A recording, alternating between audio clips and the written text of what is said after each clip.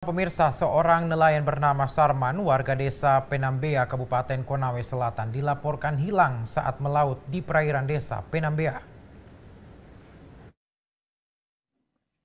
Kantor Pencarian dan Pertolongan Kendari menerima laporan hilangnya nelayan asal desa Penambea dari Arlan, anggota Polsek Moramo.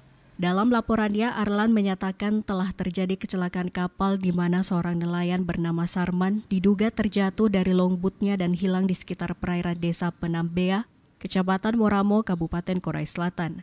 Berdasarkan informasi tersebut, pada pukul 22 lewat 10 waktu Indonesia Tengah, tim rescue KPP Kedari diberangkatkan menuju lokasi kejadian dengan menggunakan RIB untuk memberikan bantuan SAR.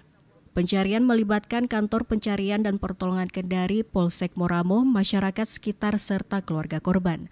Sementara alat yang digunakan meliputi rescue car, ambulans, RIB, Aqua Eye, peralatan SAR medis, palsar evakuasi, peralatan komunikasi serta peralatan pendukung keselamatan lainnya.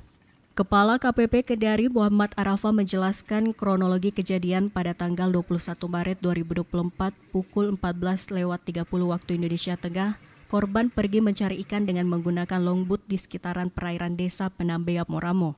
Sekitar pukul 16 waktu Indonesia Tengah, tetangga korban bernama Laba melintas di samping longboat milik korban yang terikat di rompang dan tidak menemukan korban. Lanjutnya, korban diperkirakan terjatuh dari longboatnya dan sebagai informasi tambahan, korban memiliki riwayat penyakit epilepsi. Telah dilakukan pencarian oleh masyarakat sekitar dan keluarga korban, namun hingga informasi ini diterima dengan hasil nihil.